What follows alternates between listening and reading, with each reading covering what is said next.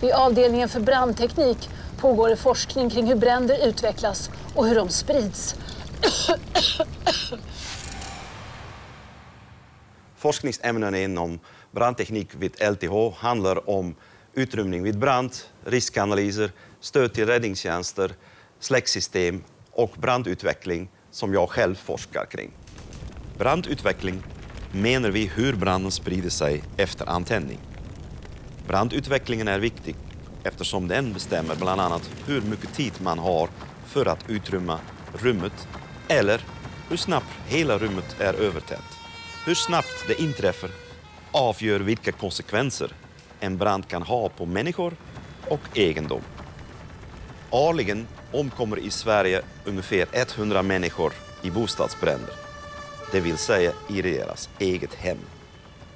Rätt ofta är det levande ljus, rökning, glömt spis, elapparatur och eldstäder som är brandorsak. Kostnader för dessa bränderna ligger på nästan 6 miljarder kronor per år. En viktig faktor för brandspridning är precis hur snabbt en brand sprider sig i en byggnad och hur byggprodukterna påverkar denna spridning. Om vi tittar på produkter som används i byggnader då tänker vi mest på till exempel vägg och golvmaterial, kablar och möbler. En första sak som vi vill veta är hur snabbt ett material antänder vid olika påverkan. Sen vill vi veta hur snabbt branden sprider sig på ytan, den så kallade flamspridningen. Flamspridning beror hur material är monterat, vertikal eller horisontellt till exempel. Dessa två faktorer bestämmer en väldigt viktig parameter och det är effektutveckling eller hur mycket värme som produceras. Det som även är viktigt är rökproduktionen vad gäller innehållet och täthet.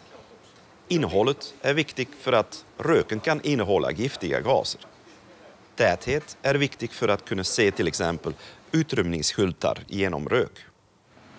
Till slut är det viktigt om material producerar brinnande droppar. Alla dessa faktorer bestämmer brandutveckling som sen kan användas i avancerade brandmodeller för dimensionering av brandsäkra byggnader.